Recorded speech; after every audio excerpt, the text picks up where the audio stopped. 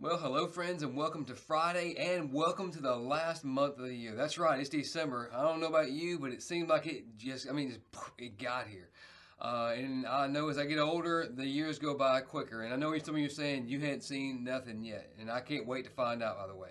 But we're starting into the book of Revelation. Brother David got us in here yesterday. I'm getting us today into the letters to the churches. And I tell you, instead of a certain letter I want to focus in on, instead, I want us to look at each introduction. And, of course, in your personal, your quiet time, go back and read each letter carefully, uh, examining what our Lord identified and how he responded to that and how he demanded that the church respond to that. But notice a couple things about the introduction to each of the letters. Look, first of all, in verses 1 and 2 of chapter 2.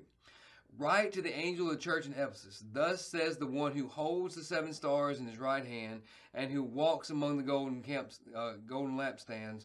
I know your works. I know. So notice that in that particular introduction, we have this phrase, the one who, the one who.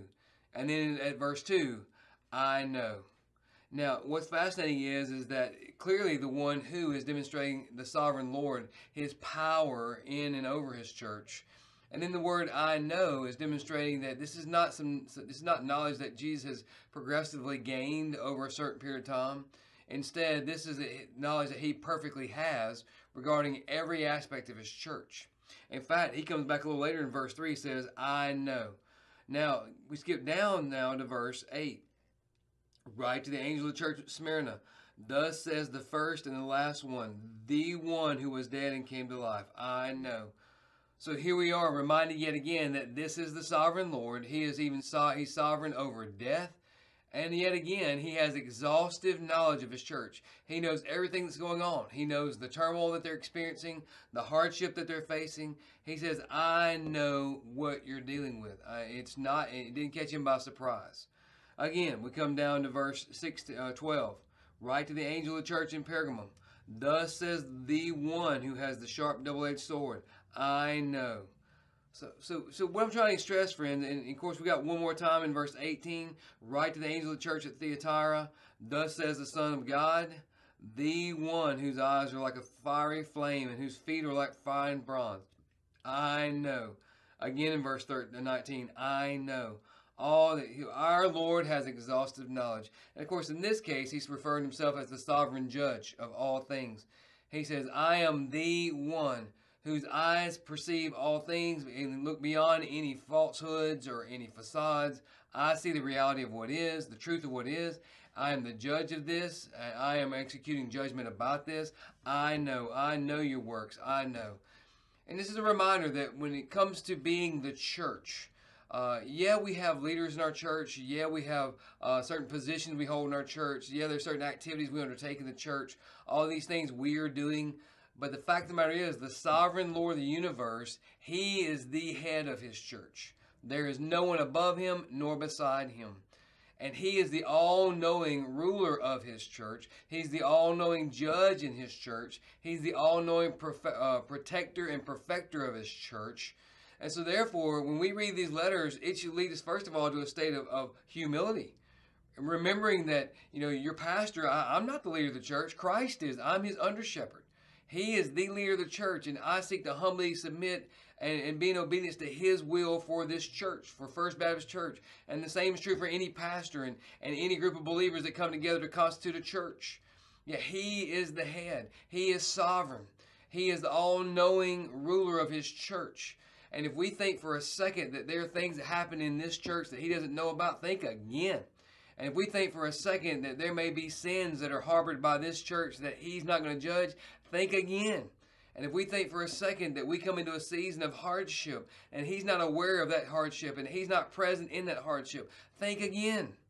Every single letter is a reminder that He is the one, the one and only head of His church, the sovereign ruler of the universe, and He knows. And you know what? That's not only true for the church, that's true for you individually as a believer. He is now Lord of your life. If you are a born again believer, then you would have had to have surrendered your life to His Lordship.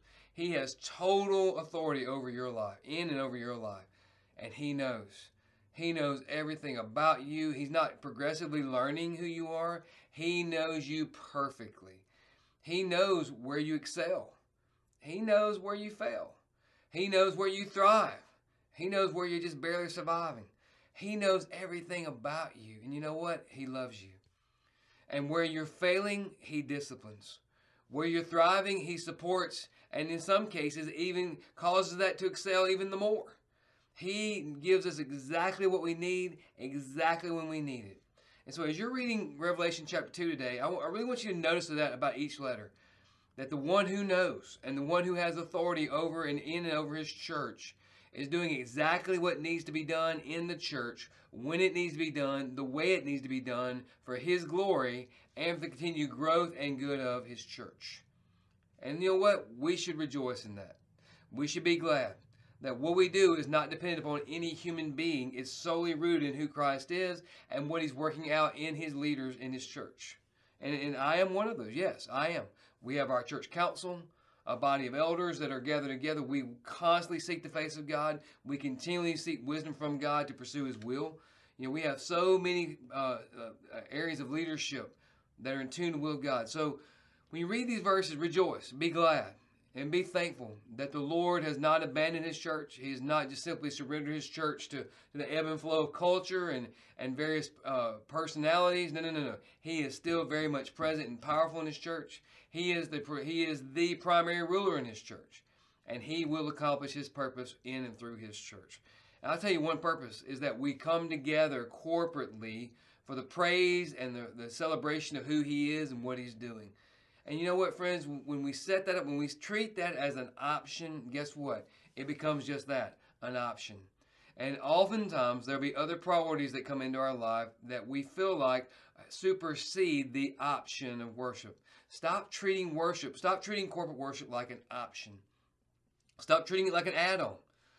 Small group is good. But we must gather together for corporate worship to encourage one another, to celebrate Jesus, to, to, to be edified, to use an old term, in his by his word. Worship is not an option, it is the priority. So make it the priority now, today. Start today. Go ahead and set it as priority, commit to it, and then do not let anything get in the way of that commitment. And I tell you what, friends, you will be blessed you will be blessed as we come together to pour into one another what we've so richly experienced all throughout the weekend personal worship. We'll pour into one another.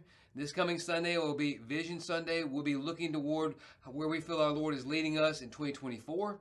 We'll talk about our theme. We'll talk about some of the challenges that we're going to issue in 2024. really is a great Sunday to see you together, gathered, gather, gathered corporately as a church. So make that commitment now. Make it a priority. And I'm looking forward to seeing you Sunday morning at 8.30 or 11 o'clock. Until we're together, my friends, live sent.